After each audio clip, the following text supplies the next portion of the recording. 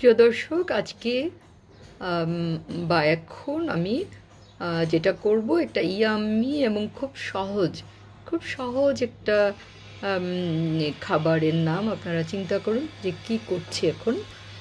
শুরুতে আমি বাঁধাকপিটা কাটবো, তারপর গাজর কাটবো এবং এটা খুব কুচি করে, খুব মিহি করে কাটতে হবে। তারপর বাকি প্রসেসে যাব এবং এই জিনিসটা সবার খুব পছন্দ, ভীষণ পছন্দ। তো দর্শক, আমরা একটা বাঁধাকপি নিয়েছি এবং এটার যে উপরে যে শক্ত পাতাটা আছে, আমি এটা ফেলে দিব। আমি আরও আরও দু একটা ফেলে দিব। আরও একটা পাতা ফেলে দিব। বাকিটা তারপর কেটে নেব। হ্যাঁ এবার এটাকে আমি অর্ধেক করে নিচ্ছি। দর্শক, আসলে কোলস্লো করব, যেটা সবার খুব প্রিয়, সবার খুব প্রিয়। সে কারণেই আর আসলে আপনারা জানেন যে বাঁধাকপি বা গাজর, এটা সারা বছর থাকে।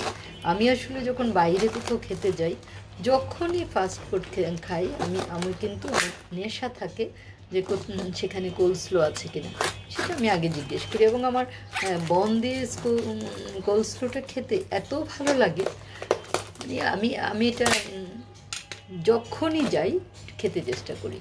তো আশা করছি যে, দর্শক, আপনাদের ভালো লাগবে, আমি এটা শুরু করি প্রসেসটা এবং এই দুটো কেটে রেডি করে তারপর আমি অন্যান্য অন্যান্য প্রসেসে যাব।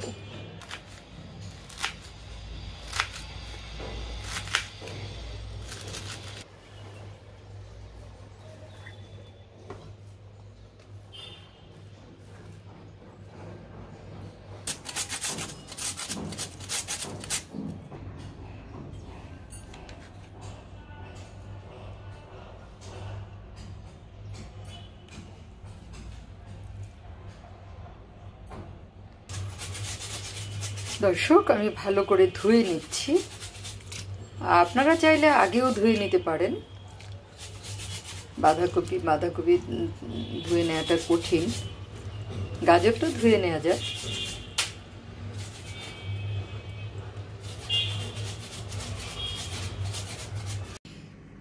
দর্শক, চলে এলাম সবচেয়ে সহজ একটা রেসিপি কোলস্লো কিন্তু খুব মজাদার। হ্যাঁ আমরা দোকানে গিয়ে কিনে কিনে খাই। এত মজাদার একটা জিনিস। তো আমি দিয়ে দিচ্ছি মেয়োনেজ। আর আমি মেয়োনেজ যেটা ব্যবহার করছি, সেটা একটু দেখিয়ে দিই আপনাদের। এই যে দেখেন, আমি কিন্তু এটা ব্যবহার করছি এবং এটা বাইরের সবসময় খেয়াল রাখবেন যে মেয়োনেজটা যেন খুব ভালো একটা কোম্পানির হয়। তাই না? আমরা কিন্তু খাবারের বেলা কোনো কম্প্রোমাইজ করতে চাই না। তো আমি একটু বেশি মেয়োনেজ দিচ্ছি। আপনাদের একটু বলে নিই যে আমার একটা বাজে স্বভাব আছে যে আমি আসলে কম জিনিস করতে পারি না। দুধ জাল দিয়ে নিয়েছিলাম হাফ লিটার। আমি দিয়ে দিচ্ছি। আমার আসলে কম জিনিস করাটা খুব ডিফিকাল্ট হয়ে বসে, আমি পারি না। এটাকে মিক্স করব সেই জন্য আমি মিক্সারটাই নিলাম। আবার আপনারা হাতেও করতে পারেন। হাতে করলে সবচেয়ে ভালো। কেউ যদি হাইজিনের ব্যাপারটা মনে করে থাকেন, তাহলে গ্লাভস পরে নিলেই হয়। চিনি দিয়ে দিচ্ছি না, আমি দুধ দিলাম। আমি চার চামচ আরও বেশি লাগবে, আমি পরে টেস্ট করে তারপর দেব। আমি দিয়ে দিচ্ছি লবণ, সামান্য পরিমাণ লবণ, সেটিও আমি কিন্তু পরে টেস্ট করে দেব।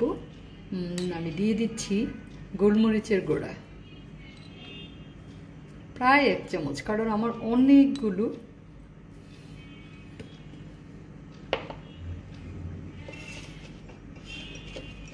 আমি দিয়ে দিচ্ছি টক দই।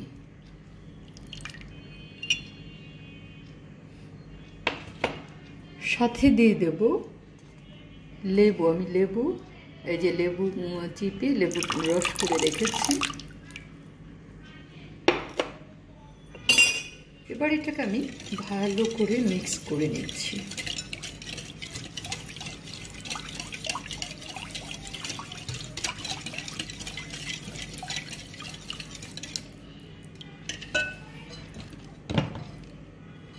দর্শক, আমি যেটা, এই যে আমার এতগুলো এতগুলো, আমার আমার পরিমাণটা আসলে আপনাদের সঙ্গে মিশবে না, মিলবে না। এই যে এটা আমি তিনটা পেঁয়াজ কুচি করে রেখেছি, মিহি কুচি, তিনটা পেঁয়াজ।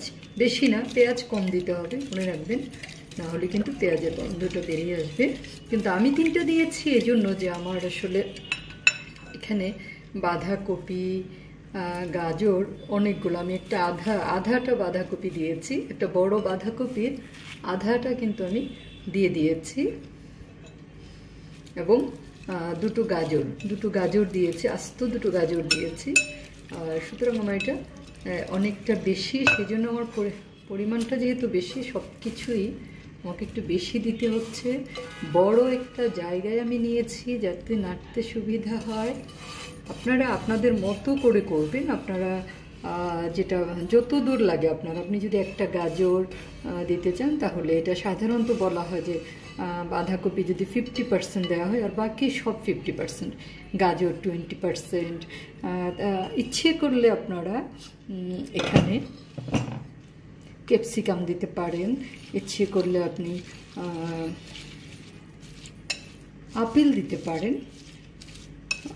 কোনো সমস্যা নেই, কিন্তু আমি এই দুটো মেইন দুটো আমরা যখনই কোর্স স্লো করি আমাদের কিন্তু সবচেয়ে সবার আগে মনে পড়ে বা যে এটা দিয়েই করতে হয় বাঁধাকপি। তো বাঁধাকপি এখন বাজারে অ্যাভেলেবেল বাঁধাকপির কোনো অভাব নাই। আপনি বাঁধাকপি এখন শীতকাল আসছে, সেখানে আছে। তাছাড়া সারা বছর জুড়ে আমার কিন্তু আমি দুই দিন আগে একটা রেসিপি করেছিলাম। আমার কিন্তু ঘরে স্টোর করেও কিন্তু অনেকগুলো বাঁধাকপি আছে। কিন্তু আমি সেটা দিয়ে করিনি, একদম ফ্রেশ একটা দিয়ে আমি কিন্তু এটা করলাম। এসব জাতীয় জিনিস যখন কর- কর- করবেন যদি হাতের কাছে ফ্রেশ থাকে তাহলে অবশ্যই ফ্রেশটা দিয়ে করতে হবে, তাহলে কিন্তু আরও ভালো। আর যেটা স্টোর করে রাখবেন সেটা দিয়ে ভাজি করা বা এসব এসব জাতীয় কিছু করে ফেললে দর্শক হয়ে গেল। এখন এটা পুরোটাই আমি কিন্তু একটা এয়ারটাইট বক্সে করে ফ্রিজে রেখে দিই আপনারা জানেন যে এটা ফ্রিজে রেখেই খেতে হয়। অনেকটা সময় ফ্রিজে রেখে দিব, পাঁচ, ছয় ঘণ্টা। তারপর আমি নামিয়ে নেব। এবং এটা কি ইচ্ছে করলে আপনারা সাত দিন, আট দিন পর্যন্ত কিন্তু ফ্রিজে রেখে খেতে পারেন। আর এখন তো শীতকাল, এখন কোনো সমস্যাই নেই। শীতকাল না হলেও কিন্তু এই কাজটা করা যায়, করা যাবে, কোনো সমস্যাই নাই। তো দর্শক যদি ভালো লাগে আমার এই রেসিপিটা নিজেরা করে খাবেন এবং পুরো রেসিপিটা যদি না দেখেন, তাহলে কিন্তু আসলে বুঝতে পারবেন না। আপনারা চেষ্টা করবেন যে যখনই যার রেসিপি যার, আমার হোক, যারই হোক, পুরো রেসিপিটা একটু রেসিপিটা দেখার চেষ্টা করবেন, তাহলে হবে কি? যে আপনি পুরো জিনিসটা জানতে পারবেন। হঠাৎ করে একটু দেখে করে ফেলা যায় না, কারণ আমরা বলি যে আমি পারি। হ্যাঁ অবশ্যই আমি পারি। আপনি পারেন। কিন্তু আপনি আপনি কিন্তু আমার মতো করেন না, আমি আপনার মতো করি না, সেই জন্যই কিন্তু দেখতে হয় যে আমরা দেখে নিলাম যে কাঠটা কেমন। এক একজনেরটা হয়তো এক এক রকম টেস্ট হতে পারে।